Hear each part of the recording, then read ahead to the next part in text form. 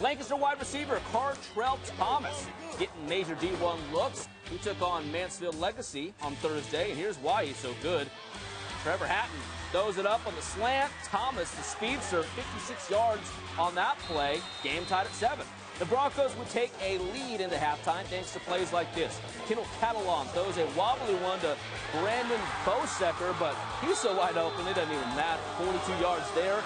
Legacy up 17 to 13 at the break. Second half, Hatton brings them back. Rolling to his right and hitting LT Jesse on the sideline. Jesse waits for the call. You bet.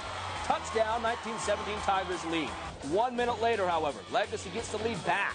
Cameron Session goes up the middle, does the sweet spin move, and keeps on a trucking. 18 yards, and the Broncos are back on top by five. Fourth quarter, Lancaster up three. Hatton with the play action, keeps it, and continues to keep it. He takes it himself, 52 yards for the score. The junior threw for two touchdowns as well, ran for two more. Lancaster wins a good game, 34-24.